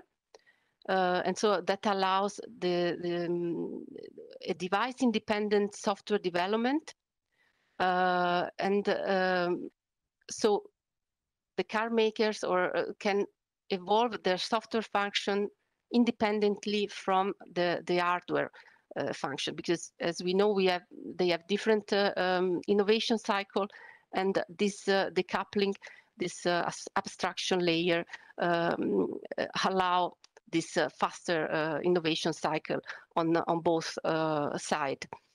Um, and on the overall we also support the end-to-end -end development life cycle so all the phases of the of the life cycle of uh, of uh, of the safety critical uh, and not critical application. So from design, planning, development, validation and verification, certification, deployment, and operation. Francesca, could you? Yes, I'm I'm almost yeah. done. Okay. I just want to uh, highlight uh, this this slide uh, on the this orchestration uh, of application. So we define we identify these three layers. So there is the um, SOC layer, so the la uh, SOC level, the uh, level one, layer one, which is in charge of the management of the silicon capability of the sensor, and this layer is managed by normal standard operating system while we intervene, uh, our CarOS intervene at the domain control unit level, so the OS la layer two, uh, where there are different uh, uh automotive um, um, already uh, standardized automotive uh, um, software stack like AUTOSAR, but we provide a sort of middle middleware layer which include networking management, application orchestration, end-to-end uh, ex and execution, end-to-end uh, time, uh, global scheduling and execution guarantee. And uh, at the vehicle level, so the OS layer three, this is a new level because it includes both in-vehicle but also uh, cloud resources um, because now we see that uh, some application don't, do not need to run in the car, but can be run, can be executed uh, by, uh, in the cloud. And this is thanks to 5G networks and, uh, and others. and also here, uh, this is the novelty and uh, the CarOS will play a, a crucial uh, role. Um, this, this said, this is important, but we do not have to forget safety and security by design, um, where um, I'm going here, uh, we see that uh, reusing this uh, safety software platform across OEM um, uh, will speed up the SOPs for, uh, for, for OEMs. Uh, and this will help our platform to expand in, in, in the global footprint. And last slide what we see in uh, in uh, the key takeaways for us in the, for this presentation is that uh, the, the future car will change at runtime and four aspects are important. So the to be responsive to this change, certain technology needs to support the dynamic behavior and enable this seamless operation of the system. On the other side, design practice need to change. So uh, transitioning from design time to runtime approach, and also this uh, software uh, as a service business model. So the, the behavior of the vehicle uh, shall adapt to the software and the user's need while keeping uh, the integrity of the system in terms of safety and security untouched. And so this OS layer two and three will be enabler to accommodate this, this new option leveraging also with uh, online techniques for reconfigurability of the vehicle. And last aspect is related to cloud, where company need will need and will leverage more on a cloud-based digital twin, uh, especially for testing, validation, and verification and certification aspect uh, uh, to be able to uh, ensure the correctness of the behavior of the vehicle. And with that, I thank you very much, and I uh, give back the floor to Rolf. Thank you, Francesca, for the insights, the technical insights in the new generation of designing the car and the car uh, operating system. Uh, we take questions again in the package, so I first want to move on to farming. So you have seen already the change of, of atmosphere or culture no, from the previous um, to this one we have to talk about operations now. And we see on the operations that uh, the value of data applications, um, the orchestration of the local control and the local decision making with cloud service and data service becomes more prominent. And that's also the case for the farming sector. For the farming sector, the digital farmer of today has to take much more complex decisions and is much more supported by data applications. I'm very happy to welcome Jürgen Vangeyte. Jürgen is already, thank you for your time because you're also part of a conference today and you've taken your time. You are the scientific director um, for agricultural engineering at ILVO. And ILVO is the Flanders Research Institute for Agriculture, Fisheries and Food, um, basically with a focus on environmental technology, precision crop farming and precision livestock farming. And you have a track record in agricultural engineering. We're very happy to have you here and to introduce the DJust Connect platform for the farmers. Jürgen, the floor is yours. Thank you very much. Thank you for having me. Actually, um, I'm at the kickoff meeting, but as uh, of a very related project. It's called uh, Data for Food 2030. It's a Horizon Europe project, and it's all about uh, building the future data economy. So it's mm -hmm. it's really on spot of this uh, of this discussion. So thank you very much. Um, I will not talk too much about ILVO. I mainly want to talk about uh, our our um, platform, and what we are doing in uh, agriculture. Um, I think uh, DjustConnect can really serve as an example of a sustainable data sharing initiative in uh, in agriculture. We are actually, in our opinion, one of the first regional data spaces in uh, in uh, in agriculture, and we also stretch uh, towards food. Um, why are we there? Just going to put this away. Yes, okay. Well, I think I don't need to say to this public that there are a lot of possibilities in the data economy, also in agri-food, and we see a lot of use cases where we see valorization possible of data. We see a lot of companies that uh, have data where they could reach new clients, that they could um, do better marketing of their data and the services, and that they could offer better strategy. But on the other hand, we see not so many players already valorizing this full potential, and there are not really not so much player already that I think that are making real value already through data sharing. So there's a lot, lot to be done, and a lot of uh, uh, companies in our sector need to think about what is our digital strategy. And and more than just being a platform for data sharing or a data space we are also trying to navigate our ecosystem, our digital ecosystem in this uh, digital uh, journey. Um, to make it maybe a little bit practic, uh, practical, uh, what you can have, for instance, um, a new company, uh, um, a startup who, who wants some data sets to give advice for the for the, on a farmer. Let's say that he wants to combine genetic data, that he wants to combine uh, data coming from the milk quality and maybe the feed that the, the animals get. And all this data, this data is not necessarily with the farmer, it's mostly with with, with, with the businesses. And then he has to contact this uh, dairy business or the feed businesses to make an agreement with this business to get the data. But of course, he needs to make many agreements because a smart app is not using just one data source. It's it's combining a lot of different uh, data sources. So the first step is to bring all these agreements together, and then at least in our vision and also the, the, the vision, um, the European vision on data ownership, uh, he needs to get consent of uh, all these farmers that they don't have the data on premises, but their data is with the businesses that are delivering to them. So we need to see that these uh, farmers can make an agreement and give their consent on the use of this data. And connected to this consent, there is a value exchange. It can be money, but it can also be another value proposition. So this becomes a very complex system for me as a data user, I need to connect to a lot of data sources. I need to have a lot of consents. I need to do a lot of negotiations. So all these consents, uh, all these um, uh, work to get to the data makes it a very, very complex system. And we like to refer to it with the image of a spaghetti. Uh, for the data user, it's, it's, it's really becoming way too complex. And um, there is you will lose too much value in finding your way in this complex system. And for our farmers, on the other hand, they're overwhelmed by um, companies asking consent for their data. And this is actually the, the, the the the problem where we are confronting with.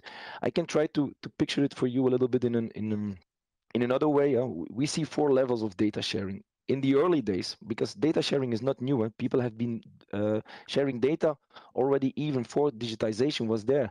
Um, data could be shared in a in a more um, classical way through FTP service, but you can even share uh, data in, in in hard copy or in documents.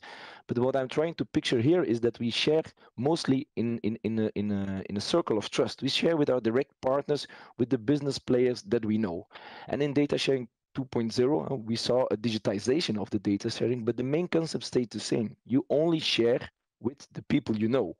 And then we had the API and the cloud services coming in, but still, um, we were still sharing with people we know, people we can trust. So we didn't need so much uh, governance or technology to create trusted data sharing. But now we are moving to the next level. We are offering data as a product and we are sharing our data with players and third parties that we don't know. And then there is some danger because we're not anymore in the circle of trust. We're not anymore sharing data with trusted parties. And we believe this is an unstable system and, and this is cracking. And this cracking is a loss of, of trust and of stability. What we propose is to build again uh, a stabilized data ecosystem for sharing, build, uh, which is built on three very important components. As a basis, we, we see trust, and as a support, we see a very important, uh, strong infrastructure and another, maybe the most important component, respect.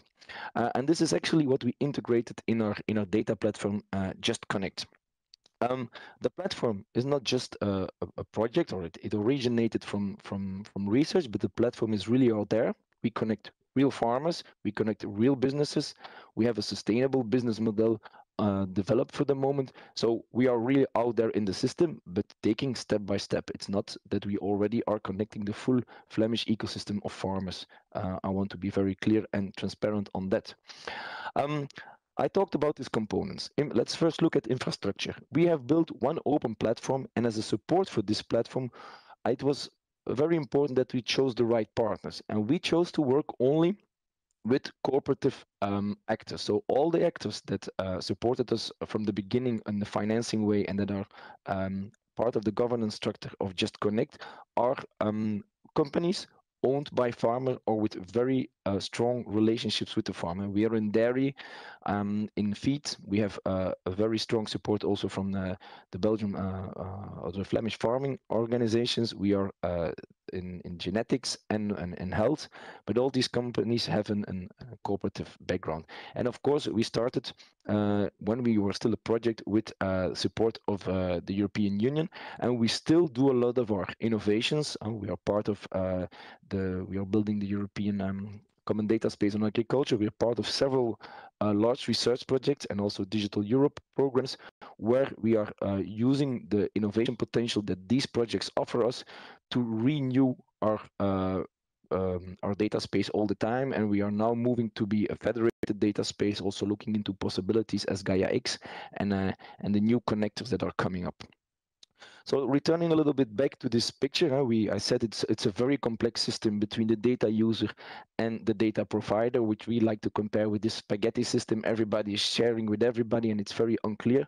We are changing this to a kind of circular highway. We like to picture DjustConnect as a data highway where each data user, data provider can have his own exit and ramp towards the uh, the highway or off the highway and data flows on the highway. And what we do is we transport data from one player to another but we only transport data between actors if you play it by uh, the rules our rules of uh, respect.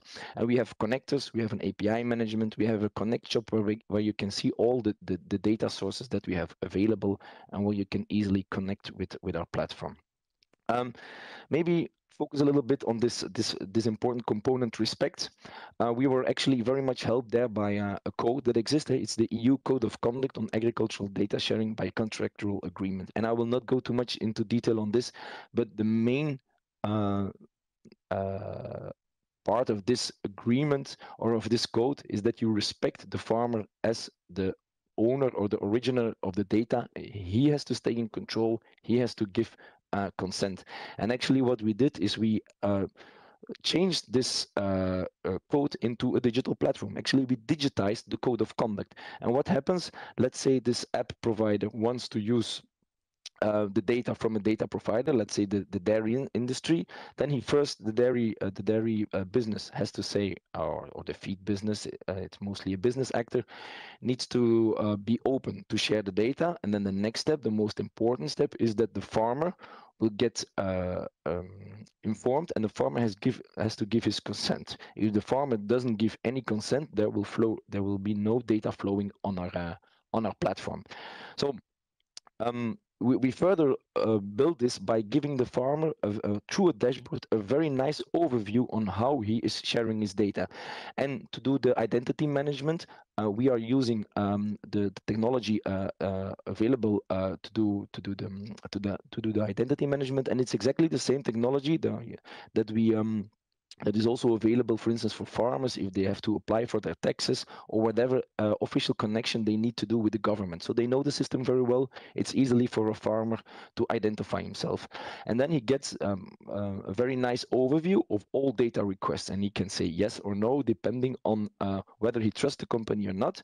And also the company needs to explain each time very clearly the goal, how long and how long the data uh, will be used so if the if the company is not clear on that, DjustConnect will not forward the request to the farmer.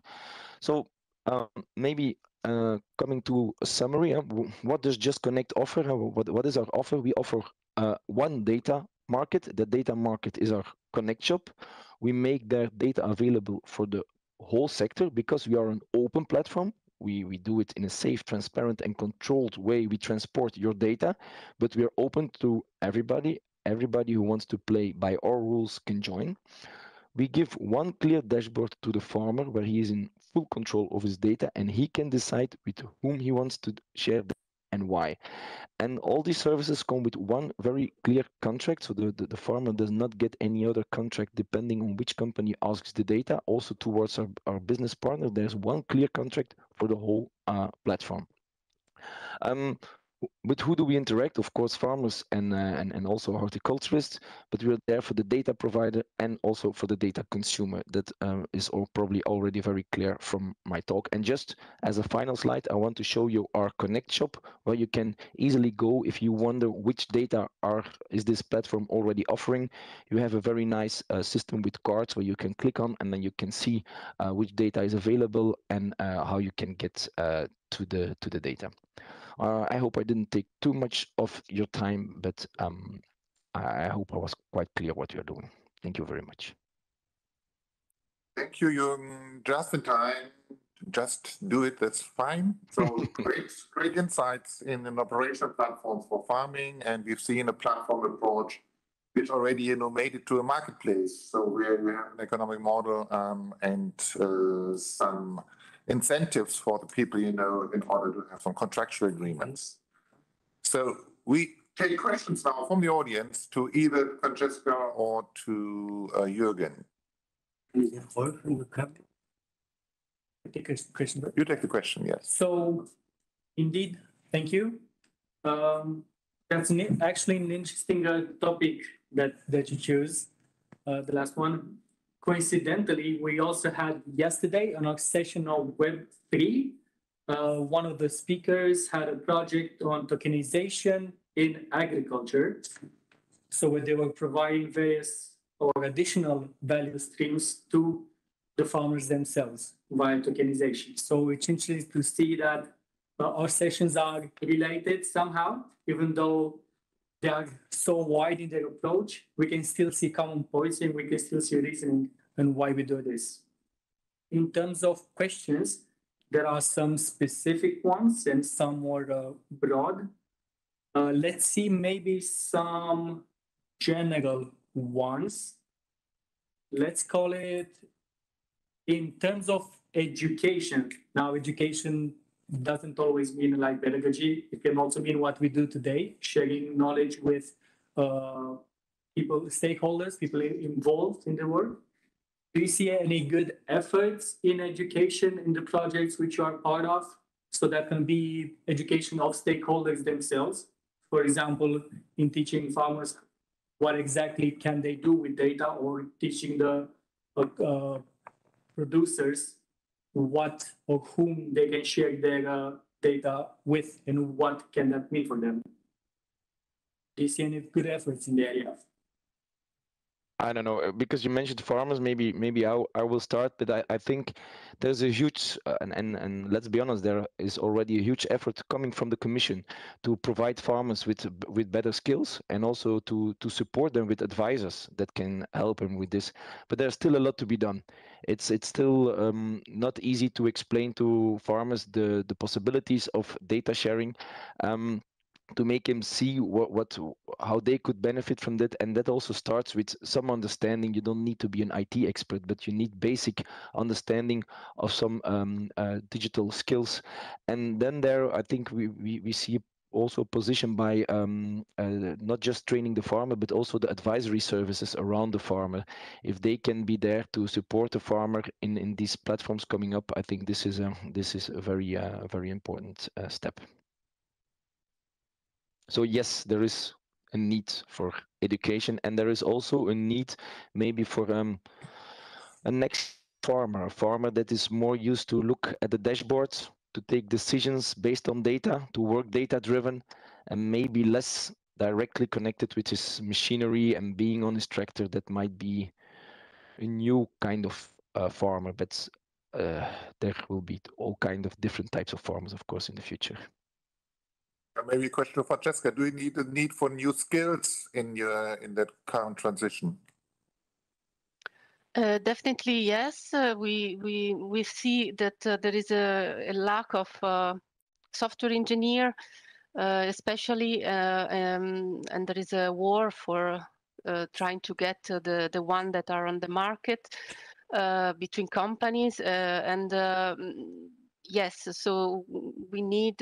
we think that we there should be an investment on on that to try to to bring more software engineer, more IT um, uh, engineer in uh, in the in the job market.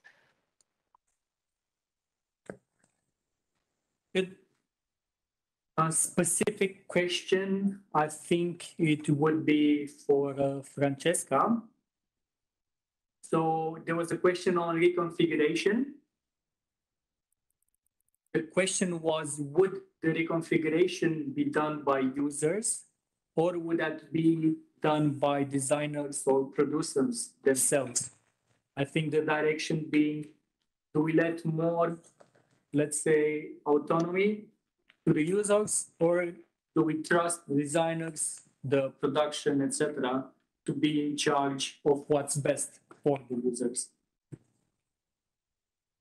Um, well, in, and at the moment, what we see is that uh, so the, the development of, uh, of functionality and application is on the uh, software uh, player. Uh, it's a complex. Um, it's not like uh, the the application, as we said, that we see on the on the app phone on the on the iPhone, on uh, so on the smartphones. These are uh, require specific knowledge, require, as I said, uh, software engineering skills, especially on uh, embedded system security, um, safety approaches. So.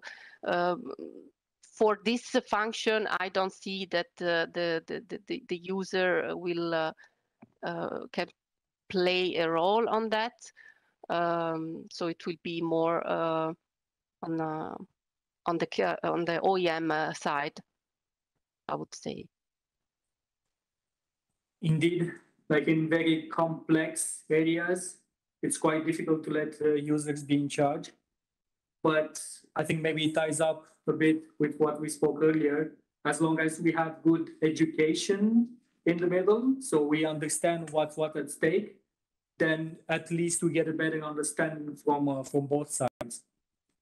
There is a common question which maybe uh, we could approach as as a closing statement maybe for you as well. If you were to solve one issue in the data space tomorrow, which issue would you choose?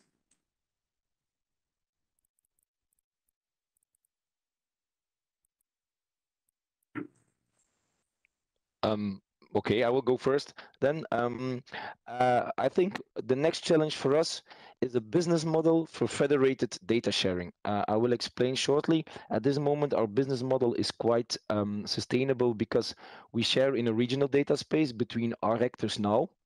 But, in the, but we see that other data spaces or regional data spaces are also coming up. You have a platform in France where we are cooperating with. There are um, platforms in, in Germany, in the Netherlands how can we offer to our European uh, players that if they are connected in Flanders, they can also be automatically connected in Germany, in France, and they, they don't need to pay a subscription fee each time again? And what business model is necessary to make these platforms uh, work together? So an, an, um, an a collaborative uh, business model there uh, that would be a, a, very nice next step i think.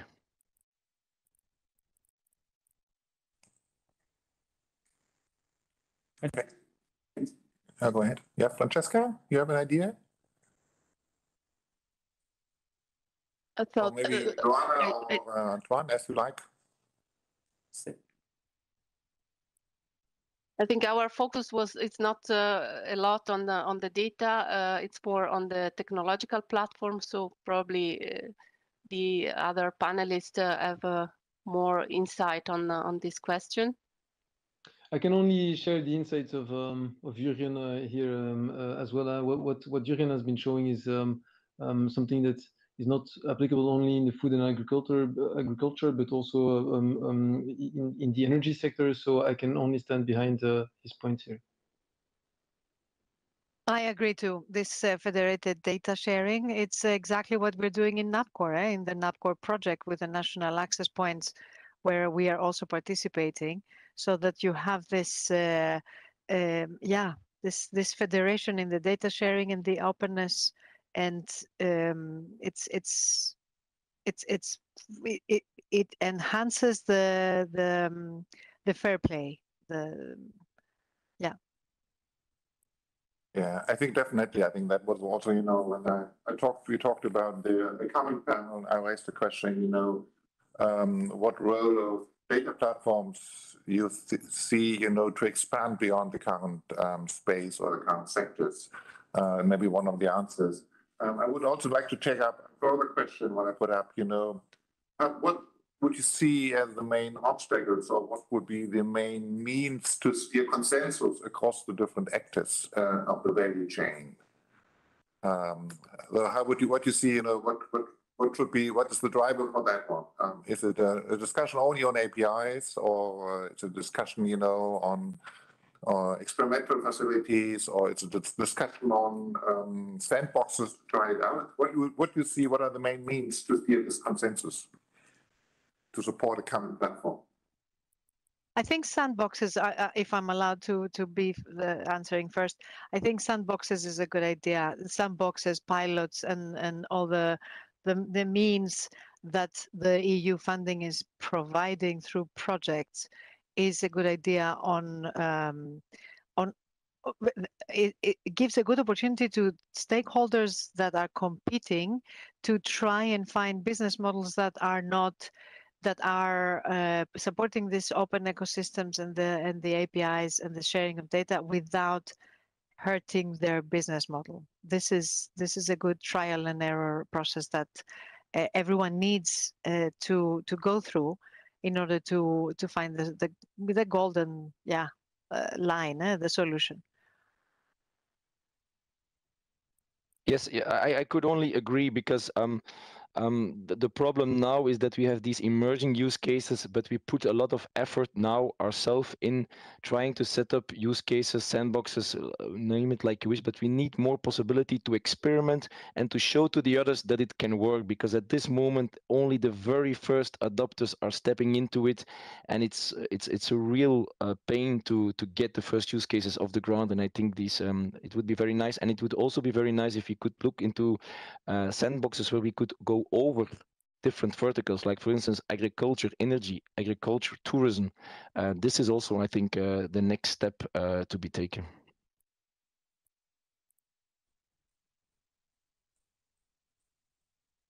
Other comments?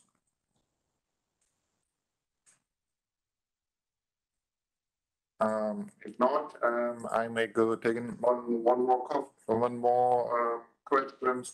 Um, the, question is about the investments. At the end of the day, you know, if you talk about agreements on APIs, if you talk about, uh, agreement on contracts, uh, at the end of the day, you know, if you talk about particular data, um, spaces or data platforms, somebody has to make the investments into an infrastructure and has to take a lead. Um, so why is it important to put investments in these operational or data infrastructures? And what are the main means in order to, to get the money around? Um, is it, you know, regional fundings? Uh, is it, uh, you need lead companies doing the first step in and doing the investments? Or, or what, or is it um, um, strategic partnerships who are doing the first investment? So how to, to, to, to trigger these investments?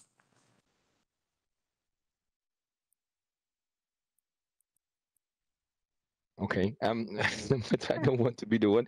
Um, I think uh, I, we, we can be uh, very transparent on that. Um, like our platform could not um, be sustainable at this moment is there is there if when there is there no uh, governmental or institutional support being it from european research project or other sources we are not ready yet um, uh, so we have a sustainable business model but we need another several years to um, to be really uh, full sustainable and that is i think where we see data as a utility um, like you have the wires for the electricity, like you have the streets to to make the cars upon. I think also the the, the data uh, platforms could be seen as um, infrastructure where maybe governmental players need to take uh, responsibility uh, and also at the same time they can step into the governance of these systems. So I think these things come come together at least in in, in our vertical. Uh, That is my opinion. So uh, people, the audience will think that um, Jurgen and myself have um, uh, agreed upon uh, before, but not not really.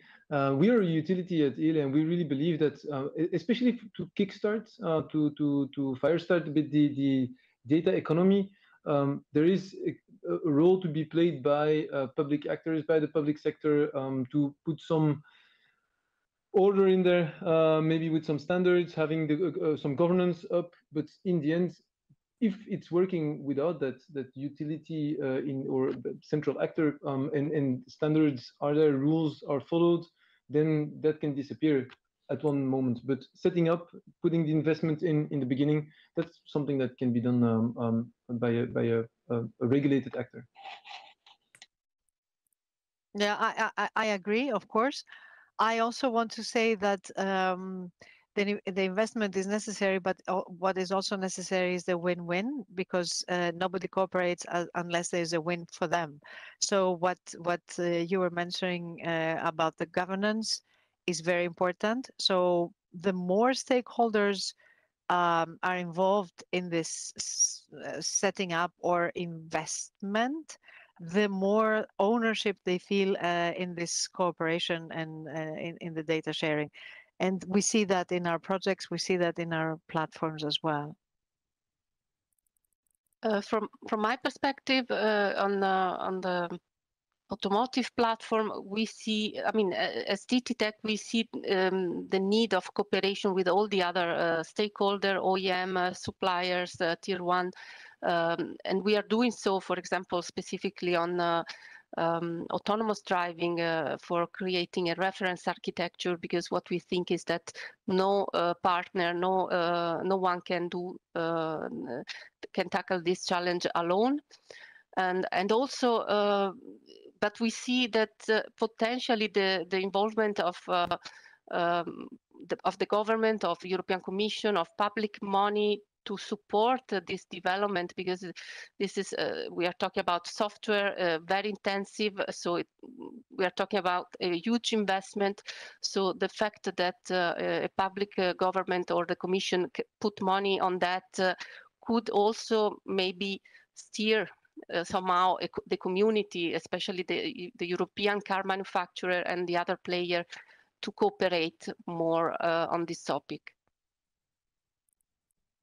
Okay. Uh, Rolf, if, if I may add uh, my last point on this question because I, I like it. Um, so it is the, this uh, federated approach that uh, needs the glue of the European institutions. Uh, so the investment coming from the European institutions is is putting this basis for the uh, member states, the 27, uh, to to to harmonize, um, and and this is what we don't see in other regions. Uh, we we came back from the ITS World Congress that we we held in LA last week, and we didn't see the departments of transport cooperating in the way that member states and departments uh, of transport or communications and connectivity uh, cooperate in um, in Europe.